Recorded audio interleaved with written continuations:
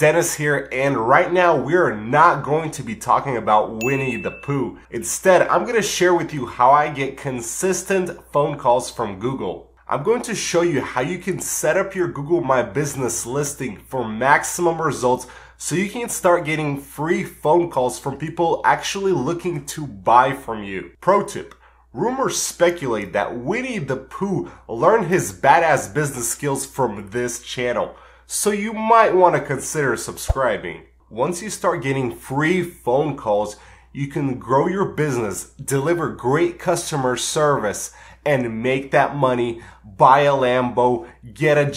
And as a bonus, if you stick around to the end, I'm going to show you a hack that you can use to rank your Google My Business listing instantly. Also, I will have my scheduling link for my calendar in the description below. So if you want to work with me personally and I will take a deep dive into your GMB, into your SEO strategy, into your ranking situation to help you get those phone calls and leads for your business, go ahead and schedule your consultation down below in that link. The first thing that you want to do is to have all of your information in one place about your business. So in this case, I have Sacramento Plumbing Company as the name of the business, the address 301 Douglas, and the phone number that I'm going to be using for my business. A side note here is I definitely do recommend having a WordPress website, but it is not a requirement for this video, although it is highly recommended if you want to take your ranking to the next level. So the first thing that we need to do is to do a Melissa address check. So what do I mean by that? The first thing I'm going to do is I'm going to copy this address right over here and I'm going to Google Melissa address check. I'm going to press the first link and I'm just going to paste in the address. Submit. Boom. So what we're looking at here is that we want to make sure that this address is verified. The first thing uh, that's there is that it's verified. And then the second thing it's also very important is that we want to make sure that this city, town, or place is located in the city, in the city that we are trying to rank for right? Sometimes, as I'm going to show you right now, you can have a city and you can have an address with a city, but it's actually located in a different suburb, which is going to make it harder for you to rank when you're trying to rank for a specific city. So let me give you an example of that right now. So I typed in another address here, and as you can see, Although the address states that we are located in the city of Sacramento, if we actually go look into the Melissa data check right over here, we're going to see that the city, place, or town is located within Arden Arcade. Now, if this is your actual physical business place, there's nothing you can really do about it, but as you can see, Google is seeing that this address is located within Arden Arcade, which is technically not within the city of Sacramento, although the address is saying that it's based in Sacramento, is different from the city that you're trying to rank for, you're going to have a harder time ranking on Google. Now, this is not a deal breaker for sure, but like I said, it's going to be slightly harder for you to rank. And if possible, you want to try to get an address that is actually located within the city that you're trying to rank for. And if you do not have a business place you can actually rent or get access to, what you want to do is you can use an online vendor like GMB Swarm to order a Google My Business listing that's done for you with pretty much any address that you want. Uh, so what you want to do in that case is just find an address that's actually located within the city limits of the city you're trying to rank for and just use that address when you're verifying your Google My Business through a third party vendor. So the next thing we want to check is the phone number that we selected for our business. Now I usually use tracking numbers for my businesses as it's so much easier to reroute the phone calls to an actual uh, business number and keep track and record the phone calls when you are when you have clients uh, or customers calling into your business. So what I do is when I pick a tracking number is I want to Google the number and I want to make sure that there's, first of all, no confusion with any other businesses with that specific number. Maybe though that business had the number in the past and then they stopped doing business, but Google is still keeping track of that phone number on the, uh, inside of their index. The second thing uh, is, is that I want to check for is that it seems like this phone number is getting robocalls from. So that's definitely not something you want to use when you have a business. So you just want to make sure that there's uh, no scammer reports coming in from that phone number. At this point, we have checked all of the information we need to check to make sure our business is setting off on the right foot in ranking on Google. So the next part is actually going to be setting up your Google My Business listing. Head over to google.com forward slash business and then go ahead and press the manage now button. That's going to bring another window where Google is going to ask you to sign in. And once you sign in, you want to create a new business location and a whole new Google My Business entity. So we're going to start off with our business name. So in this case, we have already named the business as Sacramento Plumbing Company. We're just going to paste that in here and we're going to press next. Now, the first question that Google is asking us is whether or not we want our address to show up in our Google My Business profile. Now, theoretically, you can select to not have your address show up in your GMB profile, but as we're going to learn later with things like citations where addresses are required, so in general, you won't be able to actually hide your address on the internet if you want to rank your Google My Business profile. However, on Google, you can still hide your address. But as we're going to learn later, if you want to verify your Google My Business listing, you're still going to need to have an address associated with the listing where a postcard will come to your mail and that can be things like your residential home. So all in all, there's basically no way of escaping having a physical address listed on file with Google even if it is a residential address. Now you do want to note that you can always turn off the visibility of your Google My Business address. However, it's still going to be on file with Google. So at this point, we just want to press yes and press next. the next screen here is asking us to put in our address, which is what we're going to do right now.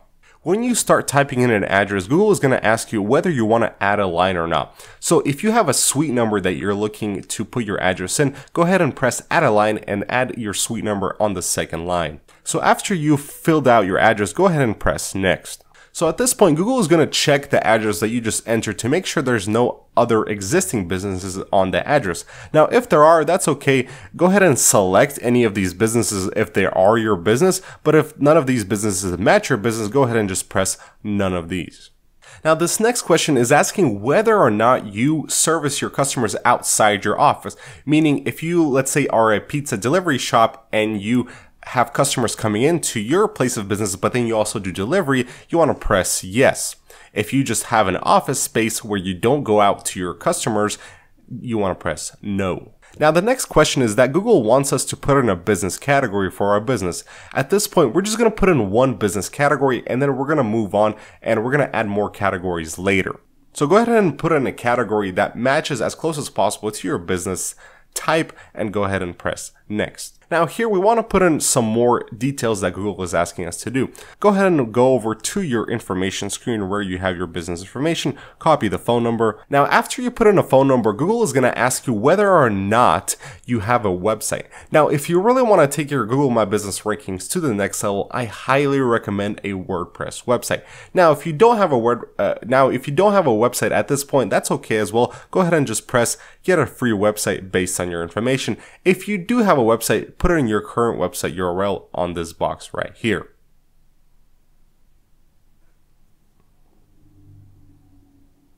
All right, there you go. And now you're finished. So at this point, you just want to press finish.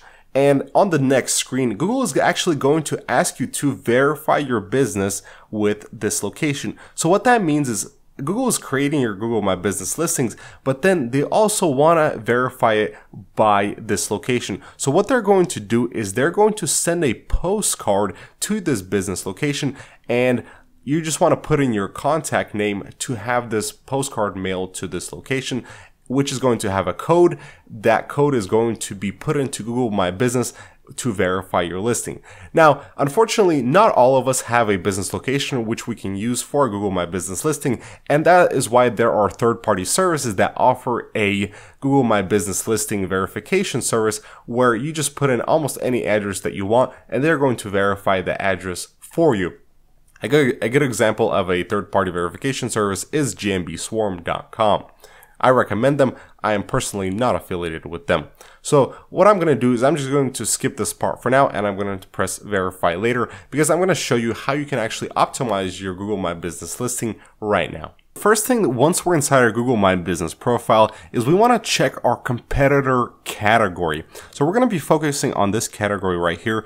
But in this case, Sacramento Plumbing Company, I'm pretty sure plumber is the right category category. But here is, I'm going to show you a different business with an example where you can actually relate to this. So I'm going to type in decking contractor Sacramento. And we're going to see that there's actually going to be different categories that our competitors have chosen. So in this first example, we have a general contractor. The second is a deck builder. First, the third is a fence contractor. So I'm not really sure which category I should pick based on our competitor. So in that case, you want to target a bigger city. So instead of Sacramento, I'm going to type in Los Angeles. I can see that the top three results all use Deck Builder. And what's that? What that's telling me is that Google is rewarding businesses who use the proper category. So I need to use Deck Builder if I was to use a decking contractor company. Now, in this case, Sacramento Plumbing Company, plumber sounds about right. So what we want to do is, again, we want to look for um, emergency plumber, Los Angeles. Let's see. As you can see, they're all plumbers, which means that we have selected the right category as plumber. Now, the other thing I want to do is I want to see if there's any additional categories that might relate to my business. So I'm going to search plumber and we can see that there's a plumbing supply store. I'm going to see emergency. So as we can see that there's not really anything else other than plumber that fits our business type.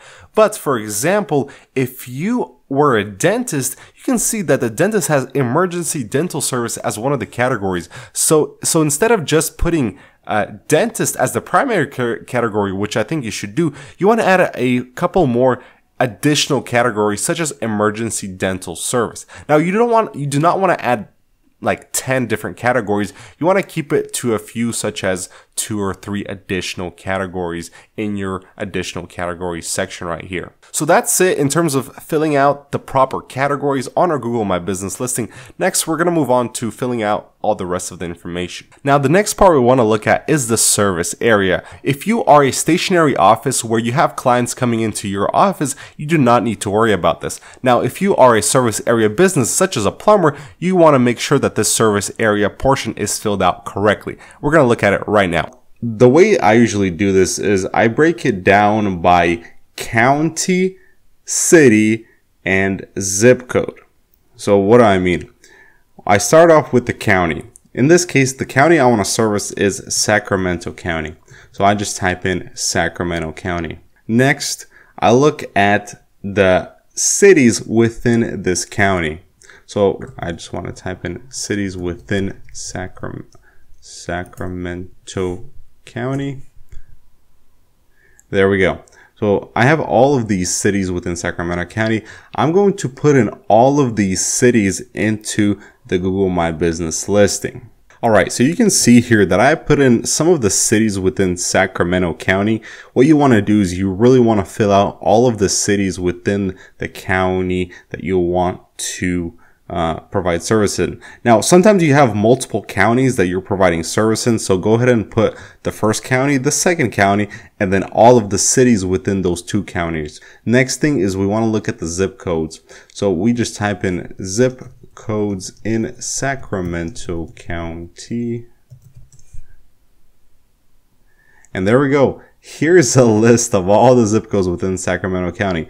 Go one by one just copy and paste them into the Google My Business and boom.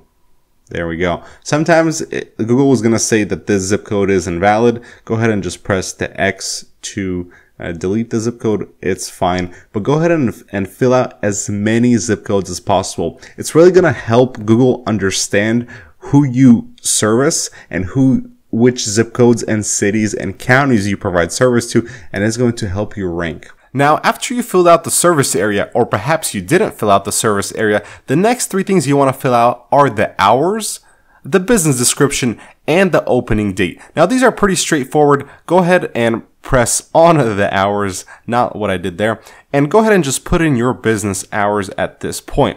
All right. Next, you want to fill in a business description. As you can see, you have 750 characters. Go ahead and fill out as much of that as possible and make sure you include your target keyword, keywords. For example, Sacramento plumber might be in there just to be a target keyword for you. Go ahead and put in a few target keywords that you want to rank for. The next thing is you want to put in an opening date. Go ahead and, and put in a date. It doesn't really matter. So the next thing we want to look at are the services. Now Google My Business used to have a service column right over here in the info section, but instead they switched it to products and moved it to the left hand uh, menu bar over here. So go ahead and press products and press get started.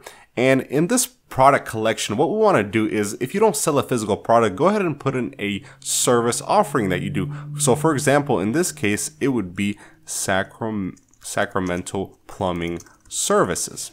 Now, the product name could be something like a subset of the Sacramento Plumbing Services, which would be em Emergency Plumber.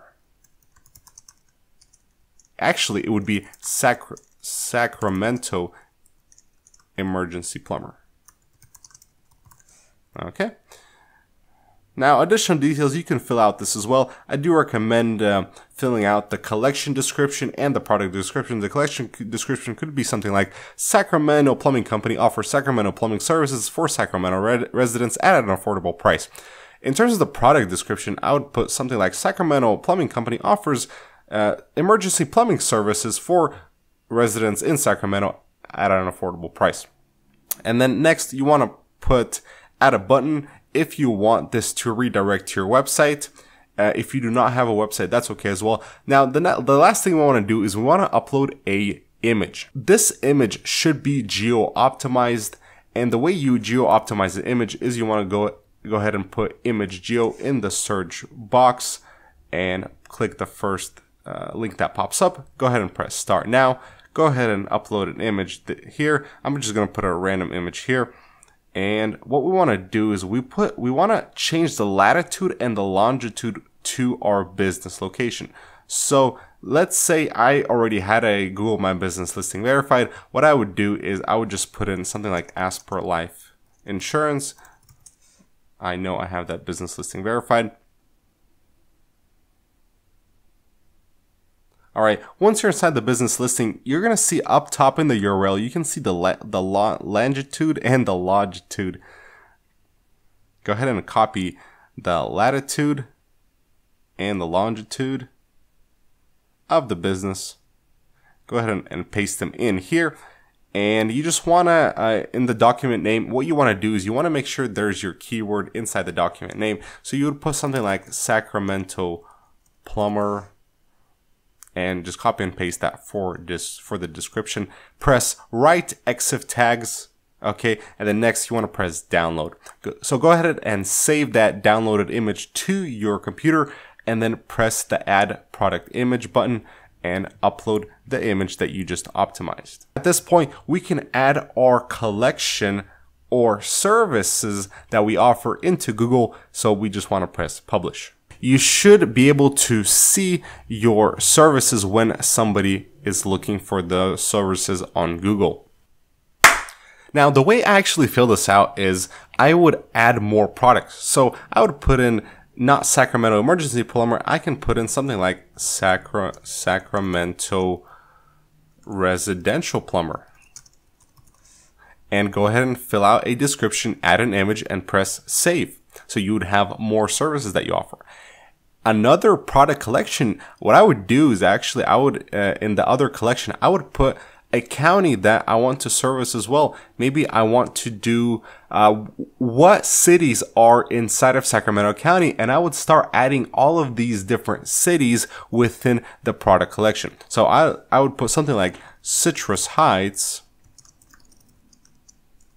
plumbing services, and then I, in the product name I would put something like Citrus Citrus Heights Emergency Plumber.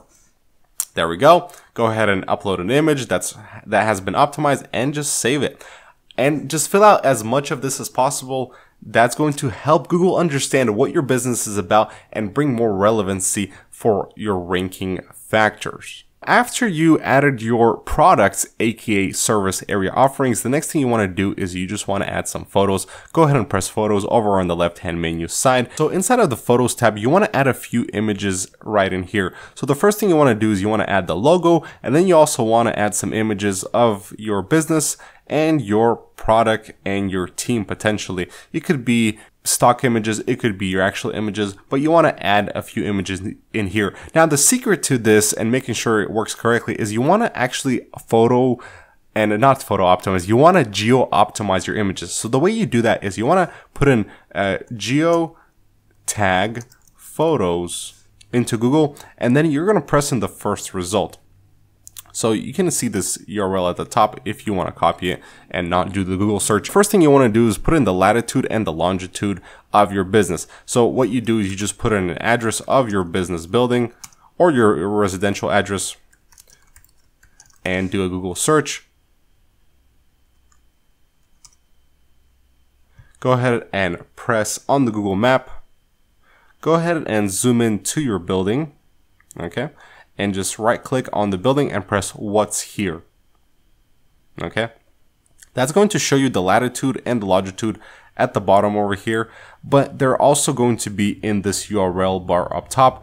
I find it easier to copy and paste it from the URL bar up top. So I'm just going to put the latitude into this tool and the, there we go, and the longitude in this tool as well. Boom. Now, the next thing I want to uh, put the document name as a keyword. So for example, if I was a deck installer in Sacramento, I would put deck installer Sacramento as my keyword and the image description as the deck installer in Sacramento. I would just press write exif tags and just download this image. Once the image is downloaded, go ahead and go back into your Google My Business uh, Manager. Go ahead and press um, product, for example, and just press the plus sign at the top right. Upload your image. Here we go. Give it a second to upload. And once the image has uploaded, it's going to show up in your product images, which is great. So you want to do that for a few images, again, five to 10 images. That's going to really help your um, Google My Business out. And Google is actually going to use the EXIF data from the images to further see where your business is located. So that's going to help your rank. Next thing we want to look at is our website, our GMB website. So we're going to do that over on the left hand side over here. We're just going to press website. On the website, it's going to give you this screen. Go ahead and just press get started. It's going to make your website. Now, this is important even if you already have a website or even a WordPress website, you want to set this thing up. All right. So what I'm going to do here is, in terms of the primary button, I want to change the primary button to make an appointment or call now. All right, that's going to give us the option to put in a phone number. All right, call this number. That's the correct number. Next is in the headline, we want to put in our main keyword. If we are a plumbing company, our main keyword would be something like plumber Sacramento. And you can add in a hyphen and just put in your business name. So you can be something like Sacramento Plumbing Company. The description, go ahead and just, you know, put in plumber here in the description. And you want to fill out as much of this as possible with some additional keywords. So in terms of the summary header, go ahead and, you know, put we are a plumber plumbing company in Sacramento. Right. So we are a plumbing company. We are a Sacramento plumbing company. And in the summary body, here's where you can actually uh, put in more characters. Uh, so again, you want to fill out as much of this as possible with some keywords. So we're just going to press, press publish for now. There we go. We want to get this published. Cool. In terms of the summary body, try to get an article. You can actually buy an article from iWrite.com and or that might not be correct. Go ahead and Google iWriter go ahead and just order an article that's 500 words or a 1000 words that's keyword optimized to your business and just copy and paste it in here and press uh, publish. This website is probably not going to be your main website. If it is, that's okay. Research has shown that most people don't even look at websites anymore and they just go on Google, they see what Google is showing them and they call the business that's popping up on Google first with good reviews. Now, press uh, up top right now. I'm going to have a link on how to get reviews or you can actually buy reviews. Um, that video is going to show you how to do uh, both of those options. But other than that, that covers it for the Google My Business uh, optimization. As you can see on the Google My Business site, um, it's going to pull in all the images that you put in your photos tab. So go ahead and put in, go ahead and put in as much uh, photos as you possibly can. Five to 10 should uh, do it. And, um, yeah, uh, that's your Google My Business website. The most important part with your GMB website is the keyword in the header. Google is going to associate that and it's going to help your rank higher.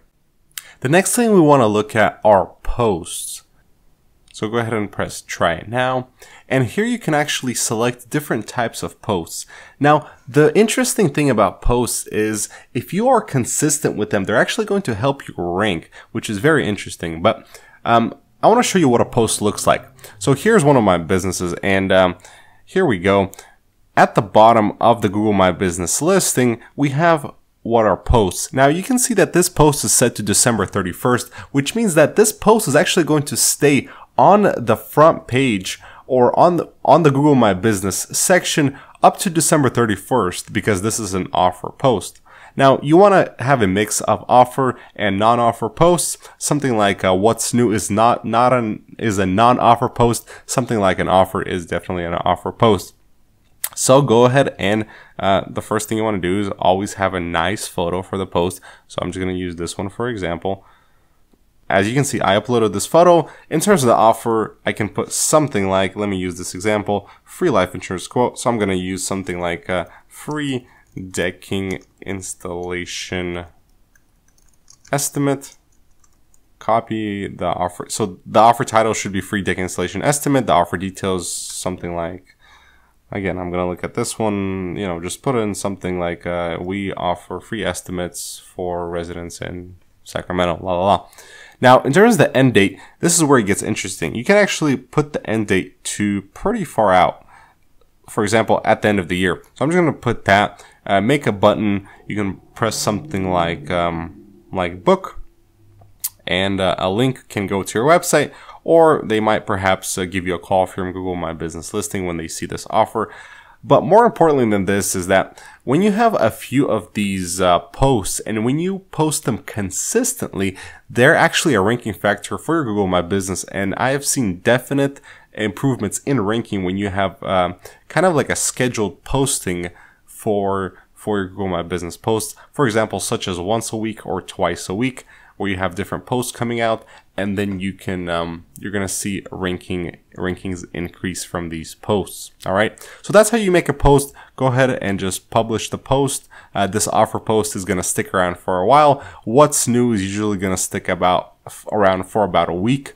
And um, yeah i mean if you have any events going on go ahead and put an event there. If you have any specific products that you sell you can always list a product there but for the most part, I just do offer and what's new posts, kind of mix them up and, uh, you know, keep it fresh and post consistently. That's going to help you rank.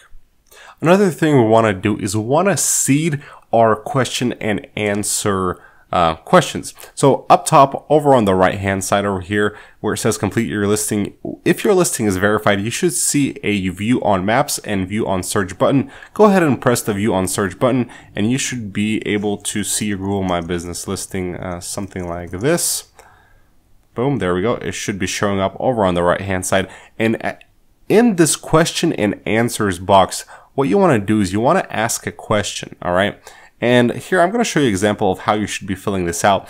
But here we go. We can see that um, what I do is I usually ask something like, do you provide uh, blank? And I would put your service offering in uh, the specific county or the specific city or area that you want to rank for. And you just put in, um, you know, all these different cities within the county you're trying to rank for. If you're trying to rank for multiple counties, you can put in all of the cities within those counties. So um, Roseville, Lincoln, Sacramento. As you can see, it's the same question, and I'm providing the question and the answer as well. You can definitely do that. It's not against Google's terms of service. The reason for filling out and preceding these question and answers is because there are some keywords within these question and answers that Google can use to further utilize and further understand what your business is about, who you are, and prove to Google that you are a legitimate business who needs to be ranked. The hack to rank your Google My Business listing instantly is to add keywords to your business listing name. I'm going to show you how to do that right now. We're going to modify our business name. Now, you need to understand that this maneuver is an maneuver that increases risk. Okay. Something like, for example, if your business name was Casper, right? That business name tells us nothing. Now, if you were to put in a bunch of different keywords, such, such as Sacramento plumber, Bay Area plumber, like keyword stuffing does not work and you're definitely going to get suspended and reported on Google. What you can do is slightly add a couple modifiers. Again, this does increase risk, but Google places so much weight in terms of the rankings on the business name that it's almost that it ranks instantaneously. It just does. So what we're going to do is, for example, if you have a nondescript business name, you want to add two things and you want to add these two keyword modifiers. The first is you want to add your location. So when somebody searches in, so some, when somebody searches plumber Sacramento, if Sacramento is within your business name, you're going to rank a lot higher. The second part is you wanna, the second keyword modifier you wanna add is your service offering. So as you can see, I did a search for keyword, for keyword plumber Sacramento. I wanna make sure that the word plumber is in there as well. So basically, I'm looking at my main keyword, such as plumber Sacramento, and I'm trying to figure out how can I add the words plumber and Sacramento into my title.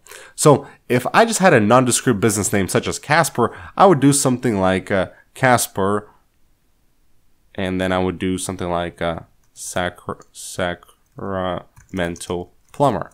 Now, this might not be the best example, but let's use another one. We could do something like um, Armstrong Plumbing.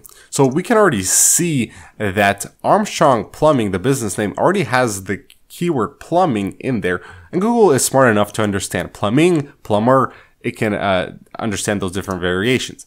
What we want to do is we want to add the city name in which we're trying to rank for at the end of our business name. So when somebody searches plumber Sacramento and we have Arnold Armstrong Plumbing hyphen Sacramento, we can see uh, Google is going to pull you up a lot higher because in the business name you have the keyword Sacramento and you have a different variation of the keyword plumber in the business name as well. So that's something you want to uh, mess about.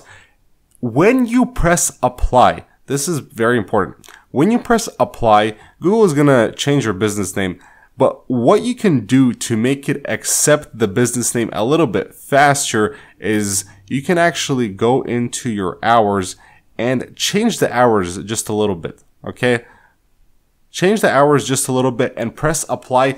And that's a little bypass to make sure your uh, business name kind of it, it pushes the approval for the business name a little bit faster through. For those of you that stuck around to the end of this video, I want to say thank you. You are the true fans who actually want to transform your life, change your business, etc. Now, I'm going to give you a special gold nugget. When you're looking to rank your Google My Business listing and doing SEO work in general, focus on a holistic approach to ranking. Don't expect one little hack or one little tidbit to instantly give you everything in terms of ranking. Guys, approach it like a steady source of transformation for your Google My Business listing, for your website, etc., for your rank, for your overall ranking strategy. But the point is, do it consistently and holistically instead of focusing on a one-time hack, one-time strategy, one-time link, or one of those one-time tactics. Focus on the big picture and trust me, you will get results. All right. Thank you so much for watching this video and I'll see you next time.